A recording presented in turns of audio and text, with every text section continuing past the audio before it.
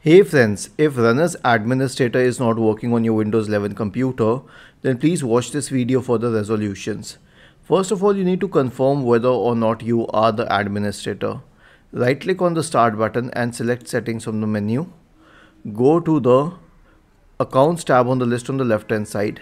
In the right pane, if it mentions administrator under your name, then uh, you are the administrator else you are not. And if you're not the administrator you'll have to become the administrator first.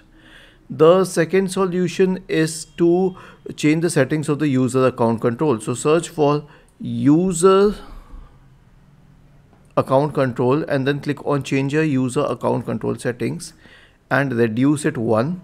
Then click on ok and uh, click on yes if it helps well and good if not then change one more setting and then uh, try to access the app once again the last solution would be an sfc scan so search for command prompt in the Windows search bar and click on Run as Administrator in the right pane to open the command prompt window.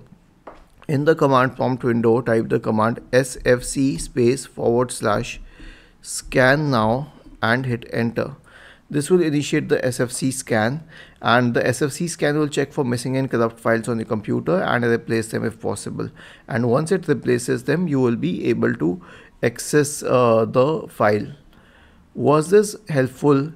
If yes, then please subscribe to our channel and if not, then let us know in the comment section of this video on how we could improve further. Thank you for watching this video and have a nice day.